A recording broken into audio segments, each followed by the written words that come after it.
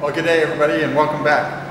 Uh, the first thing I'd like to do is thank everybody. Uh, the call to arms has helped tremendously. Uh, I still need about 200 watch hours to get to that magic 4,000 mark.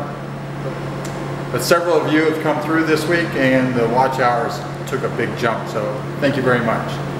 Now with this video, uh, I had to do a lot of editing. The wind and rain that I experienced on this day uh, created havoc so what could have been easily a 15 minute video is cut down to like three because I just, it was just too much wind noise and some rain and it was just a mess.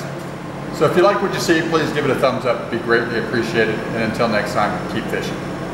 We hooked onto something.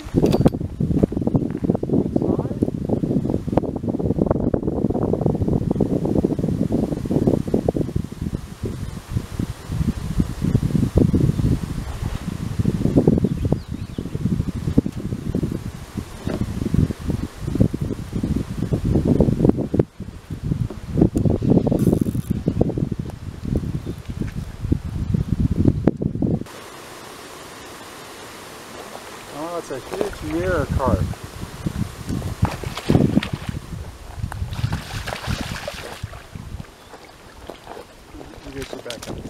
We got him,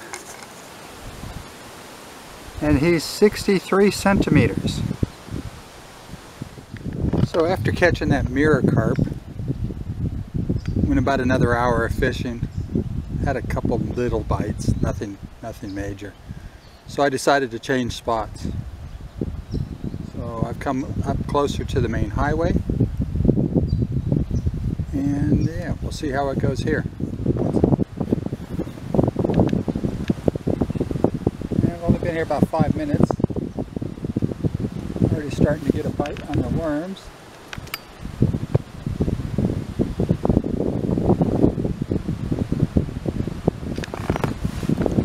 Oh, I got some. Not very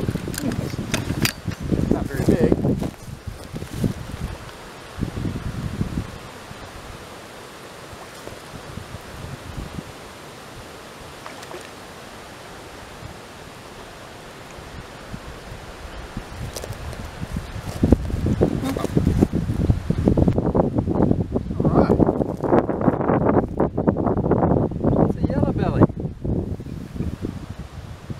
getting bites.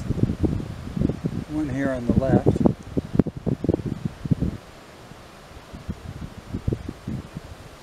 I'm kind of going slack and then back and forth. Oh, got some. Oh, he's not very big. Tiny, whatever he is. Oh, poor little, just a little baby. Oh, it's a little cod.